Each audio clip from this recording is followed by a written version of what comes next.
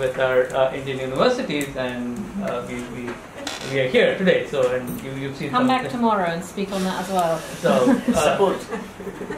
Anyway, okay. Uh, what I uh, sort of want to uh, do is before getting into uh, the political economy of uh, public-private uh, partnership, I thought I'd uh, wear my uh, chemical engineering hat and uh, sort of walk you through uh, the 101 hydrological context in which uh, all of this is actually playing out. Because that on the ground context of what urban hydrology is about is crucial to understanding some of the really interesting things that came out of uh, the Aurangabad uh, case, for example. Right? I mean, some of the uh, key hydrological uh, underpinnings of why these projects fail. Right? I mean, there, there's a physical, biophysical basis for why uh, public-private partnerships, at least the way we uh, understand it today, simply would not work in the context of Indian cities. Uh, I'm going to uh, speak from uh, my own uh, work in the last uh, five or six years, as, as you'll see uh, on the byline with multiple collaborators, multiple institutions, including ATREE, uh, from where you will hear the next presentation. What I sort of want to emphasize here is the social hydrology part. I mean, I mean, essentially making the case for why one of the central problems, conceptual problems in how we look at uh, urban water uh, conundrums in India, be it through public or private or public uh, private, is we use a techno-economic lens, right? And even as a engineer, I'm going to try and uh, make the case that all hydrology is really social hydrology, uh, if not uh, political hydrology, and we need to sort of pay attention. So let me uh, jump right in. Uh, well, this is hydrology as my uh, kindergarten uh, daughter understands it. This is from her uh, Montessori uh, classroom. There's really only this so much to hydrology. I mean, hydrologists spend we spend a lot of time trying to put numbers into this picture, but there's something crucial that is missing from this picture, and, and, and especially in the context of urban hydrology. If you stared enough at this picture, you would recognize that there are no people. Right? So where are the uh, people? And and people actually change this picture completely. Right? And uh, and we we've had a uh, uh, morning session on the history of the uh, World Bank, and uh, McNamara was uh, specifically cited. One of my favorite quotes from McNamara is when he took over as the leader of the World Bank. He said, "This is no uh, different from what I'd been doing at Ford Motor Company or the Department of Defense. That after beyond a certain scale, uh, all problems uh, start looking alike." And I'm going to try and uh, bring in that uh, scale problem, and that scale problem comes because uh, there are a lot of people. In the case of Bangalore, we are talking about uh, 10 million plus people doing something in the background. So this picture isn't really the picture that you are seeing, right? So uh, just to give you a broad uh, sort of hydrological uh, perspective on what we are looking at in uh, Bangalore, uh, Bangalore is a very large city. Uh, it's 750 uh, square kilometers approximately. So I'm, I'm not going to get into the details of how rainfall measurements are done across this large landmass, etc. But approximately short-term average again. Let's not get into the nuances. 850 millimeters per year. That translates to about 1700 million liters a day of water. Right. So that's that is my daughter's picture. Right. I mean that's that's what is being circulated in the uh, background. Absent 10 million people, uh, you will have 1700 million liters a day as the driving uh, force behind uh, the urban hydrology of Bangalore. But then we have 10 million people. So what do we do? We import 1400 million liters a day of water, right? And uh, following last week's uh, Supreme Court judgment, that's actually now going to be exactly 1750 MLD right? So sometime uh, next year, uh, the engineering infrastructure is actually going to overwhelm the natural hydrological cycle. right? So infrastructure is going to create a circulation of about 1750 million liters a day. Compare, juxtapose that with 1700 million liters a day of natural uh, background uh, uh, hydrological uh, cycle, and now you get the uh, complexity of what we are talking about. And of course, I'll, I'll get into Uh, how much groundwater we might be extracting, uh, recharge rates, uh, so on and so forth. And all of these things are complicated, but really this is the summary slide, if you will. Right? I mean, as as human produced infrastructure, we are really replicating the natural hydrological cycle. 1700 million liters a day here and 1700 million liters a day uh, over there. Okay, right, so uh, I want to uh, sort of uh, use the lens of uh, metabolism and uh, I mean, I call it the metabolic urbanism. they're, they're two very different maps, and each of these maps are incomplete say the least. The first one is, of course, the uh, political map, uh, the uh, census population in 198 uh, wards of Bangalore, and the map on the right is the groundwater uh, quality map. Right. So what I sort of want to do is understand the linkages between these two. Right? I mean, how is uh, the political producing the biophysical, and how is the biophysical a constraint on uh, all the uh, political stuff that's uh, happening, right? Okay, uh, talk metabolism. You're uh, beginning to imagine a city as a uh, living organism. So we'll move from a Montessori classroom into second grade classroom. So this is from my nephew. living things breathe. Living things need food, excrete. living things usually grow, but only for part of their lives. That's true with cities too. Living things die and this is also true of most historical cities. Right? I'm not, not going to uh, get into that. So what I'm uh, going to do is look at Bangalore, a city of 10 million people, as a living, breathing uh, organism. Right? So you're therefore uh, interested in what this living thing chews on, how does it digest, so on and so forth. Here is the problem. We understand a lot about Bangalore's circulatory system. Even when we are doing a critical analysis of public-private partnerships, for example, I mean, the kind of discussions that have been happening around this table uh, through the day, we are focused on the circulatory system of this beast. Right? We are interested in the flow of rupee. Uh, in, in, in the context of Bangalore, we especially understand the uh, flow of dollars. Uh, circulatory system is what economics and business is interested in, and in, in, in some sense, uh, politics too. But I am going to uh, try and suggest that hydrology is basically about the digestive system. Right? If you uh, continued with this living entity uh, metaphor, what does Bangalore consume? What does Bangalore excrete? Right? And, and, and in the context of Bangalore, what uh, Bangalore excretes is actually more important because uh, while public-private partnerships might be a pipe dream, a mirage on the water side, public-private partnerships are already there, uh, alive, kicking, not so well on the sink side. Right. So what happens to water after uh, we've used it?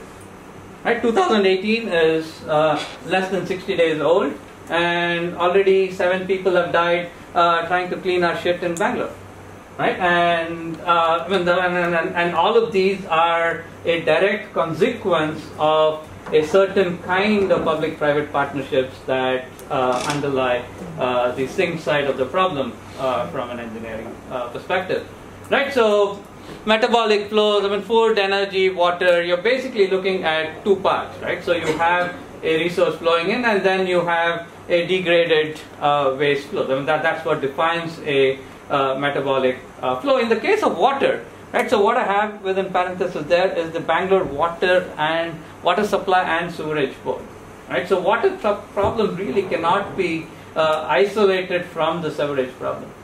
When if you want to understand water, you have to uh, got to uh, deal with the uh, sewerage problem as well. All right three ways to, I'm going to, in, in, this very brief sort of presentation, run through three ways to slice this problem. Uh, we'll talk about some questions around justice. So, in, in terms of the metabolic flow, you're then asking how was this metabolic flow distributed between uh, different people uh, in the uh, city, right? And, and then we'll, we'll actually ask the question uh, of what volume of flow is actually biophysically sustainable. Right? I mean, when can, can we go from uh, 1400 mLD to 1700 million liters a day to uh, so on and so forth. And then finally, uh, I'll, I'll, I'll, make uh, some comments on uh, economic uh, efficiency as well, right? And and I'd like to sort of start off by giving you the summary. I mean, if, if I were a doctor, and I, I, I, put the slide in also because this is a mode of social science inquiry that was really pioneered uh, by the founding director of this institute. Uh, one of J.M. Kumarappa's uh, uh, conceptions of social science was social scientists, you ought to be more uh, doctors than uh, scientists. Right? I mean, you're, you're, trying to diagnose a, problem. the political economy of distribution is fraught with inequities, multiple dimensions. metabolic flows are not sustainable, and the flows are not efficient either. And we'll see why uh, that is the uh, case. Uh, just to give you a brief snapshot for those of you who are not familiar with Bangalore, the current population is about 11 million. Just to set the context in terms of just how unprecedented uh, this growth is. Uh, Bangalore of 2011 is approximately Bangalore of 2001 plus Chennai of uh, 2004. Right? So that's, that's the pace at which uh, uh, the uh, city has uh, grown. Of course, uh, this is what maps look like. I mean, I an older slide. I have a 2016 slide which is all, all red, so it's, it's, it's built up area. But city hasn't obviously grown uniformly. Right? And, and this is going to be crucial because there is a uh, infrastructure uh, mismatch. Uh, I mean, for all the justice problems that we've been uh, uh, looking at in terms of uh, public-private partnerships, I mean, I've, I've heard people talk about how some of the earlier concerns with very, very extractive structures coming back in New Gov, the spatial distribution of growth and where people live and who lives where are going to be a really crucial uh, question. Right? I mean, I'll, I'll, try and uh, show you why, at least in the context of uh, Bangalore, it is not quite really so much classical accumulation by dispossession as much as it is accumulation by contamination. Right? I mean, so I mean, in a sense, the actual accumulation process is by uh, contaminating certain areas. But in order to be able to sustain an engine that operates uh, on the basis of accumulation by contamination, you need segregated spaces. Right? I mean, you have to segregate uh, spaces so that you can selectively uh, contaminate a uh, certain part of the uh, city. So I'll, I'll, I'll, bring in those features uh, Uh, later, but broadly uh, uh, speaking, uh, the periphery of the city has grown much more rapidly. Indeed, uh, there are central parts of the cities that have even experienced negative growth, and these are growth rates between 2001 census and 2011 census. Right, so the, this is I mean, I, I, can show this to you uh, via night lights uh, any, any which way. Uh, Bangalore is somewhat uh, peculiar because uh, the uh, growth has happened more or less uniformly across the city. Right, so it's, it's grown in every direction. This, this, is essentially growth rate measured from the population weighted centroid of the uh, city in uh, different uh, directions. so as you can see, the uh, po population centroids have barely moved. Uh, less than a uh, 200 uh, meter uh, movement between 2001 and 2011. so that in 2001 we didn't have a single ward above 40,000. In 2011, all wards had at least 40,000 people. We have 198 wards quick overview of our uh, public uh, uh, utility piped uh, infrastructure. we get water from River Kaveri. Bangalore gets water from a river that is about 100 kilometers away and uh, even more uh, significantly, uh, half a kilometer below the city. Right? So we are actually pumping water Uh, soon 1700 million liters a day of water uh, across a gradient of half a kilometer. So there's, there's a uh, significant uh, energy cost to uh, uh doing this. In fact, when our group has developed a metric called water return on water invested, right? For every 100 liters that you draw from the river, close to a liter and a half is gone into producing electricity needed to keep the pumps running. Okay, uh, so I'm going to skip over uh, some of these uh, because supply has basically uh, not kept pace with uh, population growth, but the uh, spatial characteristics are important. Right, so this is Bangalore now. Th- these are not political divisions, these are not wards in the city, these are administrative divisions of the local uh, utility, public utility, the Bangalore Water Supply and uh, Sewerage Board. Uh, you can you can clearly see that the uh, supply infrastructure is spatially very very skewed. Right, so center parts of the city get most water. I'll talk about why this is not really an engineering problem we do have a grid. So in, in, in, in some sense, uh, these things can be uh, equalized. I mean, the engineering constraint in equalizing uh, this are not uh, insurmountable at all. Uh, but I also want to draw your attention to uh, the actual numbers, not just the relative differences between the center parts of the city and the peripheral areas. Even in the center, right, where the water utility pipes are most dense, uh, the per capita consumption is 72 to 90 uh, liters per capita. The beautiful people of Bangalore are certainly consuming more than 90 liters per capita uh, per day. So, what that uh, is telling you is there's not a single part of the city where water use is not mixed. Right? When there's no part of the city that relies exclusively and entirely on only uh, public utility supplied piped water. Piped water is mostly all 99 point some percentage surface water. Right, so that uh, essentially means that Bangalore uses a mix of surface water and uh, groundwater. And, and, and that, that, that, that, that, that distinction is going to be uh, important, and the connections between surface water system and groundwater system is going to be uh, important as well. Right?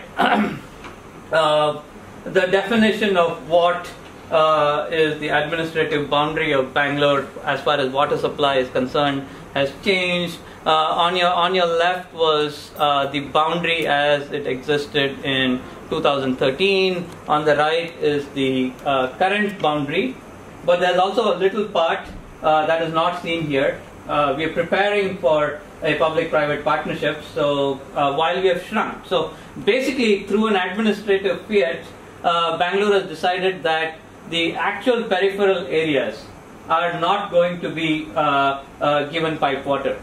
On the extreme right, the southeastern uh, ward that you see, for example, uh, 2011 uh, census tells us that is about 37% uh, SC and ST. Right, so um, so there is an underlying story that we can get into later, but while peripheral areas were removed, another area was actually added. So Bangalore's uh, public water utility uh, was uh, charged with supplying water to Bangalore's electronic city, which was the Silicon Valley of uh, India. And that's that's really not part of the administrative boundary of Bangalore, so therefore not uh, shown here. It's in the uh, southeastern corner. All right. Okay, so this is the piping network the and, and, and the two uh, two colors are because the uh, lighter color is the original piping network and the darker colors are the uh, piping network that was developed uh, in the last uh, six years or so. Uh, that's the Kaveri stage four, as it is called. So you can you, you, you can you can see where water is supplied. Right. So this is domestic metered uh, water. Uh, these are the 198 uh, uh, watts. Uh, uh, this is uh, borewell dependence, not uh, surprising at all. So if you if you don't get water uh, in the periphery, you you you dig a well, right? So uh, I mean I mean uh, the actual numbers are uh, less important than the uh, spatial uh, distribution of uh, groundwater and uh, surface water. All right. Okay. So uh, so, uh, so here is a very simple uh, plot right? So what I have done is plotted uh, population in the various uh, administrative subdivisions of the public utility versus the average LPCD, right? So this is a problem, as you can uh, see. So the infrastructure, uh, the pipe infrastructure, and people uh, happen to be in uh, different places even more stark if you looked, if you plotted the same uh, LPCD or liters per capita per day uh, against population growth. Right? So, yeah. What are the dots then? Sorry? What are the points on? Uh, these are the uh, uh, different administrative uh, boundaries. So these are oh, okay, so these are these polygons. Right, thanks. Yeah. So the uh, administrative regions of the public utility. Okay. All right. So, uh, basically, uh, infrastructure uh, and uh, people are not simply aligned, right? And and and and and, and, and this is important because uh, this is where the demand for all kinds of public-private partnership stories come from, right? I mean, a a uh, the Japanese are uh, able to come in and say JICA is going to give you money, do this because they're seeing this picture. Uh, the Norwegians are going to come in and say uh, do something else because uh, they're seeing this, right? So uh, this this picture is going to be uh, important. So putting it all uh, together, uh, this is sort of the base uh, uh, driver of uh, both hydrology and uh, political economy. Right. Okay. So I'm not, I'm going to skip over uh, how uh, the piping infrastructure in Bangalore evolved over uh, uh, several uh, years. Now let's put all of this back. The sort of city on to the biophysical domain again. The little blue uh, polygons that you see there are actually lakes uh, rapidly uh, vanishing in Bangalore, but many of them still around. Right. So if I want to sort of uh, understand what happens when you put this uh, infrastructure uh, story on top of the biophysical map. Okay, so let me give you a quick demonstration of social hydrology. Uh, on the uh, left, we have the quote unquote uh, natural state, right? I mean, you have 1700 million liters a day of rainfall falling over, 80% of which evaporates at around 10 degree uh, north latitude, uh, and about 10% ends up in uh, groundwater, right? now, of course, we don't. We, that, that's not the picture we are dealing with. Uh, you have not only uh, rainwater, but you're also importing water from the river. And I've, I've drawn those two arrows to be uh, of similar size because it's 1700 mld and 1400 mld comparable uh, size. You still have the same evaporation, uh, the same stream flow. Uh, but what percolates into the groundwater is not only rainfall recharge, but also re- leakage and uh, return flows. Right, and the pipes are leaky, and, and this is another sort of pipe pipe leakage is an important story, right? Because that that's a story that undergirds so much of the public discourse on uh, PPPs in the urban water sector in India. Um, I, thi- I think it's important to uh, uh, sort of state this upfront. We have a leakage problem, but the water leakage problem is nowhere comparable to the kinds of leakage problems we talk about in the Indian electricity sector, for example. Uh, to give you a sense, uh, the Bangalore uh, water uh, supply infrastructure, the leakage is estimated to be uh, somewhere uh, between uh, 20 and 30 percent. points of comparison: Bangkok, Thailand, about 17 percent. Tokyo, Japan, about 15 to 20 percent. So, in, in, in, in some senses, these are just the technical side of trying to create an artificial uh, hydrological system. I mean, if you're going to bring in uh, 1700 million liters a day from 100 kilometers away, and with this complicated piping network, you're going to have uh, some uh, leakage. Right? Uh, what matters for our purposes is where does that water leak? Right? I mean, obviously, the, all the pipes are in the center parts of the city. Uh, Bangalore is a tabletop city which is to say uh, the center part of the city is also the highest point in Bangalore and the uh, city uh, slopes uh, downwards um, in all uh, directions. So in absent all the groundwater pumping and recharge and all of it, uh, you would expect that the water table at the center of the city would be the deepest. Right, and at the periphery of the city, you would have shallow aquifers and you, you actually have exactly the reverse. Right? So this is the anthropogenic flip that has happened in the last uh, 40, 50 years in uh, Bangalore. And uh, that's a result of this uh, uh, particular uh, hydrology playing out.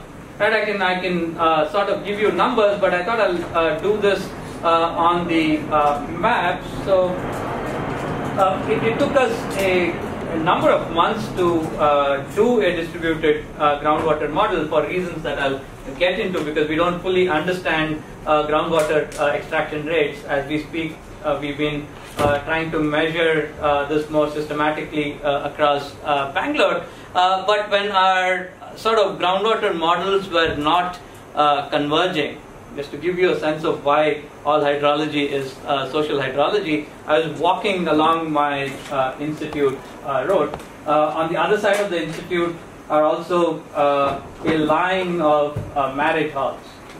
I mean, where big fat Indian weddings take place during the wedding season. And out of curiosity, I just went in and tried to figure out what a wedding uh, hall might be uh, consuming.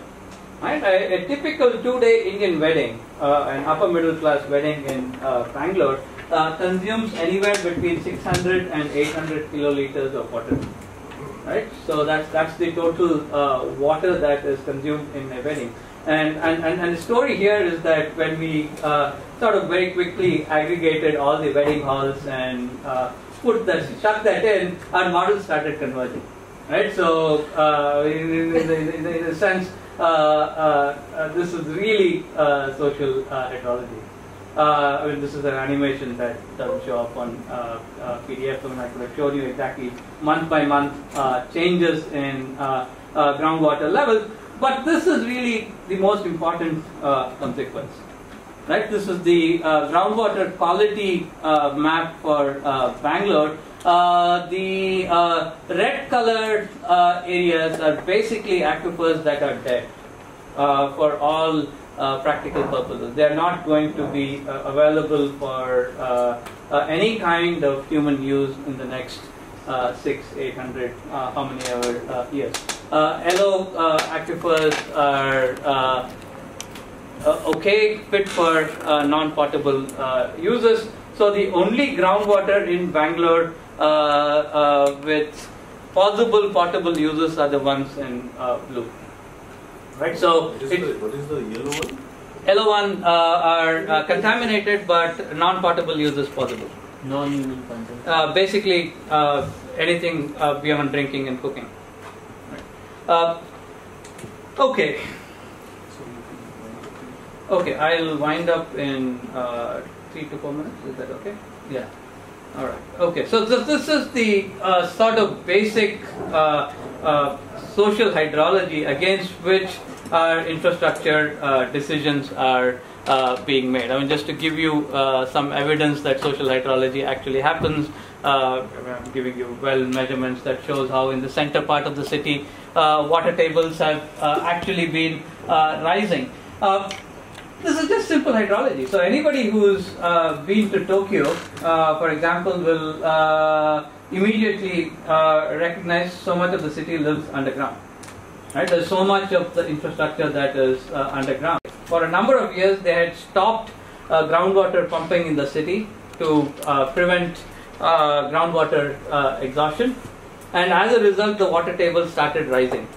And today, what they do is actually have uh, four or five big pumps that pump out water into the sea. Otherwise, uh, their uh, rising water tables would uh, uh, uh, endanger their infrastructure there. So, the usual reasons that are brandied up are, are really, really a direct, simple consequence of what hydrology is about.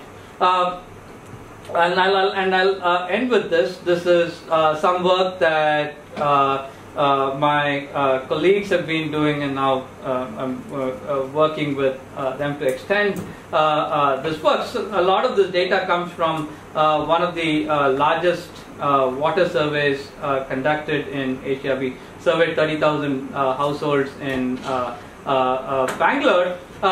There is there, there's a story about uh, social mobility and uh, social hydrology. Right? In, in, in, in terms of if you wanted to understand uh, reason why certain parts of the city you see uh, high social mobility and other parts of the city you don't see uh, social mobility, one of the factors is simply where you begin your uh, life as a squatter in the uh, city. Right? So if you if you started your life in a slum uh, which is sitting on a shallow aquifer, uh, one of the first things uh, that uh, you do is uh, get the local corporator to uh, start a groundwater utility, a micro utility. Well, we talked about one large public utility. Bangalore actually has at least a few thousand micro utilities, right? Neighborhood scale utilities run by uh, corporators, and and this is this is sort of the usual route to formality and also route to uh, social mobility. Right, so all these, these are the sorts of uh, contexts in which uh, PPP is uh, coming in. The other context that you can actually price water simply grows against uh, the grain of uh, the empirical reality. Right, I mean, I'm, I'm, making a, a purely empirical uh, case here. Right, I mean, so these are the different major sources of water in uh, Bangalore in the domestic uh, sector alone and I want you to focus on only the last two columns. right? I mean, they, they represent uh, percentage of households using that particular source with a marginal price information and percentage of houses with average price uh, information. If you don't have marginal price, uh, typically your PPP uh, isn't uh, interested, and, and, and, and this has a lot of distributional consequences as well. And I mean, simply given how water is different from electricity, for example, and one of the reasons why uh, uh, poorer households pay much more for water, even uh, within households that only rely on piped water uh, supply, is simply because of the increasing block tariff. Right? Because water is supplied to a building and not to an individual household right? So poorer households have uh, higher density. So you have uh, the model house dwelling unit in Bangalore is about six six and a half households per uh, housing plot, right? So you have a lot of people sharing uh, your monthly utility bill, uh, so that by uh, the first week of the month you have already hit the highest uh, marginal cost.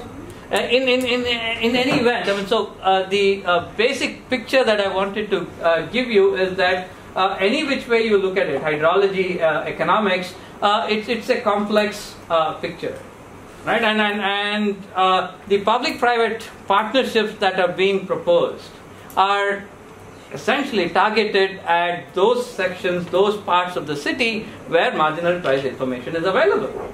Right? And, and, and that, that's, that's not a uh, a large chunk of the city as uh, you can uh, see uh, from uh, here. I'll, I'll, I'll stop. I can I can uh, sort of